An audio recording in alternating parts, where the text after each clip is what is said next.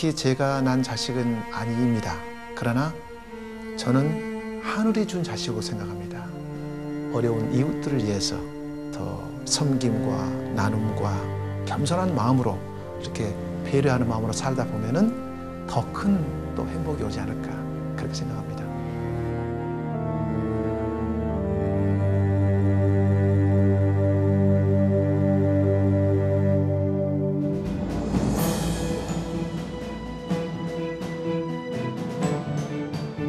(1984년 8월 2일) 새벽 미국 LA 애너하임 컨벤션 센터에서는 애국가가 울려 퍼지고 태극기가 높이 솟아올랐다. 레슬링 국가대표로 출전한 김원기가 스웨덴의 요한슨을 이기고 금메달을 목에 건 것이다. 1976년 캐나다 몬트리올 올림픽의 양정모에 이은 두 번째 금메달이었다. 4일째 금메달 소식이 없던 대한민국에 기대조차 걸지 않았던 레슬링 종목에서 나온 금메달은 대한민국 국민들의 무더운 가슴을 시원하고 후련하게 해주었다. 안녕하세요. 안녕하세요. 네, 오늘 금메달리스트 1984년도세요. 네. 제가 태어나기도 전이거든요. 네. 그러면 그때 금메달리스트를 따셨으면 언제 처음 레슬링을 하신 거예요? 제가 그 가난 때문에 음. 에, 도시로 학교를 못 가고 농촌의 학교를 선택했고 또 대학 갈 수 있다 가니까 고등학교 1학년 때부터 레슬링을 시작했습니다. 또 레슬링을 시작하면은 또 양정모 선수처럼 훌륭하게 될 수 있고 또한 제 본바탕이 못생겨서 여자들이 줄줄줄 따라가니까 그래서 레슬링 고등학교 1학년 때 시작했습니다. 아무래도 운동선수시다 보니까 네. 어머니께서 남다른 교육 방법이 있었을 것 같다는 생각이 들어요. 네. 좀 구체적인 에피소드 같은 게 있었나요? 네. 또 어렸을 때 보면은 어머님은 어, 먹을 맛있는 음식 있으면 꼭 동네 막내야 자저집 갖다 드려라 다 나눠 먹고 또 저희가 어떤 그 손님이 와서 뭘 사가지고 오면은 꼭 나눠주시고 또 지금도 어, 어떤 손자나 어떤 아들이 군대 가면은 그냥 안 보내요. 항상 용돈 줘서 보내고 그래서 배려와 나눔 그리고 또 하나는 무엇보다도 인내, 기다림 이걸 어머님한테 제가 많이 배웠습니다. 아무래도 물어볼 수밖에 없을 것 같은데 네. 그때 금메달 따셨을 때 느낌이 네. 어떠셨어요?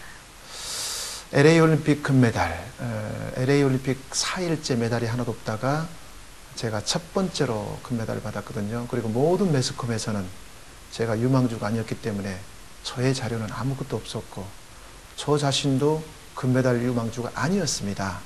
시합 4, 5일 앞두고 발목 부상도 당하고 대진표도 워낙 센 사람하고 붙었고 그러나 정말 기도하는 마음으로 정말 죽을 각오로 어머님의 젖먹던 힘을 동원해서 또 제가 하늘에 계신 분한테 기도를 했어요. 제발 좀 도와달라. 너무 힘들고 어려운 저에게 그런 기회를 준다면 꼭 그 모든 축복을 어려운 이웃들을 위해 쓰겠다. 마음속으로 기도를 하고 한 게임 한 게임 최선을 다한 결과 저에게 금메달의 영광을 왔어요. 삼남 삼녀 중 막내로 태어난 김원기. 12살 때 위암으로 아버지를 여의고 어머니는 육남매를 힘들게 키워왔다. 눈에 넣어도 아프지 않을 막내 아들이 레슬링을 시작하고도 제대로 먹이지 못하고 용돈 한 번 제대로 주지 못하는 것이 항상 마음에 걸려 미안해했던 어머니다. 어려운 가정 형편 속에서도 어머니가 김원기에게 가르쳤던 것은 바로 나눔이다. 콩알 한쪽도 나눠 먹는 나눔. 나보다 더 어려운 형편을 돕는 나눔. 그는 어머니의 가르침을 실천하기 위해 나눔 활동을 시작했다. 지금 주로 이제 함께하는 모임, 스포츠 스타들이 그 모임을 만들어서 어, 우리가 국민들에게 받은 은혜를 이제 우리가 어느 성장해서 이제 금메달을 따고 그 이후로 저희들도 그 은혜를 갚아야 된다. 그래서 이제 그런 활동 그리고 또 이제 여러 군데에서 어, 봉사활동을 많이 하는데 어찌 보면 봉사활동은 어, 받는 사람의 기쁨보다도 주는 사람 기쁨이 크기에 저로서는 저 혼자서 축복을 다 받으려고 이렇게 좋아합니다. 시합 나간다 하면은 부모님들이 어렵고 또 형님도 어렵다 보니까 용돈을 못 줘요. 그러면 시합 나가려면 뭐라도 사 먹으려면 돈이 있어야 되잖아요. 없으니까 섭섭하고 괴로운 거예요. 너무 힘든 거예요. 아, 그래서 이런 마음을 몸소 알기에 과연 부모가 안 계신 아이들이 레슬링 하면서 얼마나 소외당할까, 얼마나 힘들까.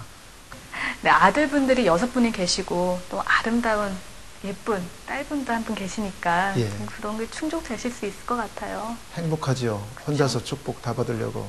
그런데 이제 그 여섯 명의 아들들은 제가 레슬링을 했기 때문에 그들의 마음을 알잖아요. 어떤 시기에 어떤 생각을 하고 또 좌절하고 또 슬럼프 가고 이런 과정들을 제가 컨트롤을 잘 해줄 수가 있잖아요. 어드바이스를 해줄 수 있잖아요. 그런 측면에서 레슬링 아들들을 그렇게 제가 부모 역할을 하게 됐고 또 태권도 하는 아이는 어, 우리 그 태권도 후배 선수가 너무 어렵다고 추천하더라고요. 그런데 그 아이도 사실 가족이 어려워요. 그래서 아, 이런 아이들을 내가 부모 역할 함으로써 또 특히 금메달리스트가 부모 역할을 하게 된다면은 아이들이 자부심을 갖잖아요. 우리 아버지가 금메달이다. 어떠세요? 느낌이?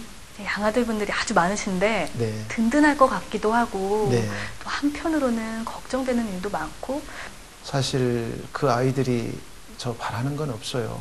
다만 바람이 있다면은 아버지의 그 뜻을 스스로 이어받아서 본인들이 반드시 열심히 살아야 할 의무가 있고 그 다음에 나중에 결혼해서 자기들이 아이들 낳으면은 그렇게 배려와 섬김의 도리를 가르쳐야 되고 또 자기도 잘 살면서 어려운 이웃들을 향해서 열심히 잘해라. 네, 그런 어떤 그 뜻을 가르쳐주고 어떤 얘기를 보통 많이 하세요? 운동선수분들이면 네. 또 같이 공감대도 많을 것 같고 네. 여러 가지로 취미 생활도 비슷할 것 같고 그래서 이제 그런데, 운동 네. 선수 때는 운동할 때는 사실 슬럼프도 많이 하고 힘든 과정이 많아요. 그럼 포기하고 싶거든요. 그러나 앞으로도 많은 경기를 치러야 되고 순간 포기해서 레슬링을 좌절한 것보다는 한 번 졌을 때 이렇게 포기하지 마라. 앞으로 다음 경기가 있다. 아버지도 그런 많은 경기를 통해서 실패를 통해서 금메달에 영광 왔기 때문에 포기하지 마라.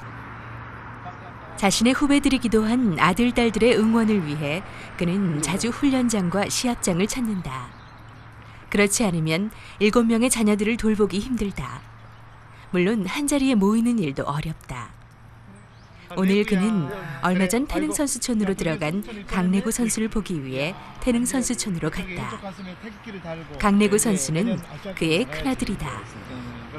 아빠도 이곳에서 훈련해서 올림픽 나가서 금메달 땄으니까 우리 아들이 내년 아시안 게임 꼭 대표가 돼서 금메달 땄으면 좋겠네. 반가워. 아유 반가워. 힘들지? 강래구 선수는 장래가 아주 유명한 선수로 이번에 처음 태릉 선수촌에 들어와 훈련을 하고 있다. 자신과 같은 종목인 레슬링을 하고 있고 또 일곱 자녀 중 가장 큰 아들이기 때문에. 그는 강래구 선수에게 거는 기대가 큰가 보다. 만난 순간부터 이런저런 조언들을 아끼지 않는다. 많이 바뀌었지 요즘에. 그래. 아버님이랑 처음 인연 맺게 됐을 때 네. 느낌이 어떠셨어요? 제가 어렸을 때 아버님이 좀 일찍 돌아가셔갖고 이제 아. 은사님이 이렇게 후- 은사님이 소, 이제 소개를 보다 이렇게 하셨는데 은사님이 그래갖고 이제 인연이 다 됐는데 아버님이 없는 게좀 약간 어렸을 때는 그런 게 있습니다. 갖고 이렇게 옆에 있다는 게 너무 든든했고 아 나한테도 아버님이 있구나 그 느낌 아그 처음 느낌이 그게 너무 고, 고마웠죠. 선생님께서 양아들을 되물림하고 싶다고 그렇게 네. 말씀하셨는데 네. 어떤 생각이세요? 저도 하고 싶죠. 아버님이 이어서 나도 내 그러니까 나이를 먹으면 어려운 애들 환경에 있는 애들 저도 도우고 싶고 또 그 애가 나보다 더 할 수 있고 못할 꿈은 항상 있으니까 그들도 저도 내 꿈이 있고 아버님한테 목, 그 목표로 가고 싶고 그래서 항상 그렇게 하고 싶습니다. 저도 훌륭한 아버님을 만나셔서 네. 많은 조언도 얻었을 것 같고 네. 또 교육 철학도 새로 생겼을 것 같다는 생각이 들어요. 네. 그 부분에 대해서 어떻게 생각하세요? 교육이요. 제가 내 자식을 낳는다면 항상 아버님 같이 누구 베풀 줄 알고 누구한테 항상 건선할 줄 알고 항상 힘든 애들한테도 항상 가서 도와주고 옆에서 지켜봐도 아 겸손하시구나 아버님이 그런 것 같이 내 자식도 나를 봤을 때 아 우리 아버님 진짜 겸손하시구나 그럴 때 보면 그러게 느- 그러게 배우는 게 좋은 것 같습니다. 겸손하는 것. 예, 그렇습니다. 그러면 전에 네. 말씀하신 것처럼 네, 아버님이 1등의 자리에서도 네, 너무 겸손해야 하고 네. 또 꼴등의 자리에서도 겸손해야 된다. 네. 그런 것처럼 네. 좌우명이 있을 것 같아요. 자유는요. 전 항상 그 뭐지 제 항상 처그 초심 잃지 말자. 항상 그게 그게 제 자유이거든요.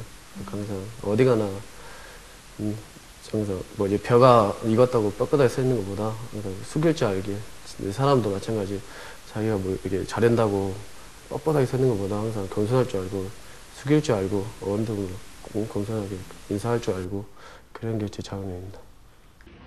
큰아들과 이야기를 나눈 후 훈련 모습을 지켜본다.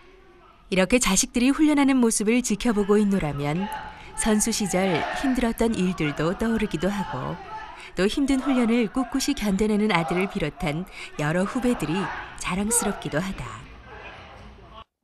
하늘에 주신 나의 사랑하는 레브 아들, 아, 네가 드디어 이제 손수촌에 입촌했구나. 손수촌은 대한민국 최익의 요람이야. 그래, 국가에서 너에게 좋은 기회를 준 만큼 왼쪽 가슴에 태극기를 달고 대한민국을 대표해서 내년에 아시안 게임 금메달을 꼭 따서 하늘에 기도를 하고 또 그 감사한 마음으로 많은 선수들에게 또 많은 이웃들에게 봉사하는 삶, 섬김의 삶을 꼭 해주기를 바란다. 네가 반드시 금메달 따서 매트 위에서 아버지처럼 기도하고 그리고 대한민국의 태극기를 한번 들어보렴. 아버지는 그걸 위해서 꼭 기도할게. 레브야 사랑한다. 너를 정말로 사랑한다.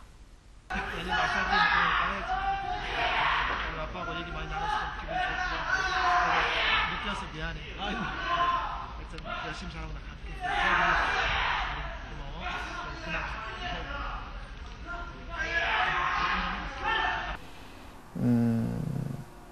지금 한남대학교 3학년 올라가는 정주현 또 그 형인 정주성 얘들한테 각별히 지금 사랑을 많이 못 줬어요.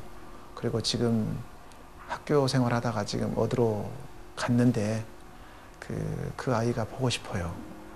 그, 그래서 주연아 어디에 있니? 그 빨리 학교로 돌아오고 아버지 너를 사랑하니까 아, 빨리 어, 학교로 복귀하고 같이 레슬링 하자. 괜찮아. 어, 선수 때는 힘들 수도 있고 또 사랑 못 받으니 그럴 수도 있지만은 빨리 와서 다시 아버지를 보자. 그 아이가 좀 마음이 아파요. 네. 어떤 일로 그 아이들한테는 더욱 사랑을 못 주셨다 그랬는데 그런 조건이 있었나요? 그건 아니고요. 이제 대전에 떨어져 있는 상태고 또 특히 그 두 아이들은 별로 말이 없어요. 그리고 또 어, 제가 더 관심을 갖고 그 애들이 어려울 때게 아니면 그 애들이 필요한 일이 있을 때 스스로 먼저 더 챙겨줬어야 되는데 에, 그렇게 못 챙겨준 것이 미안해요. 그럼 이번에 혹시 계획은 있으세요? 새로 아이들을 더 지금 저 입장에서는 이제 제가 올해 나름대로 사업도 많이 도와주셔서 잘 돼서 올해 12월 중순쯤에 또 아이를 보려는데 어려운 어, 체육인이 있다면 꼭 종목을 초월해서 어, 감독 코치들하고 상의해서 제가 또 부모 역할을 더 할 계획입니다. 자신이 직접 낳은 친자식들은 아니지만 하늘이 내려준 자식들이기에 지금 있는 일곱 명 그리고 앞으로 더 늘어날 자식들 그 아이들과 함께라는 것이 너무나 행복하다는 김원기 씨. 그는 앞으로 이 아이들이 자라 대한민국 최고, 세계 최고의 선수가 될지라도 절대 자만하지 않고 겸손하며 그리고 어려운 사람들과 나눌 줄 아는 행복한 사람이 되기를 간절히 기도한다.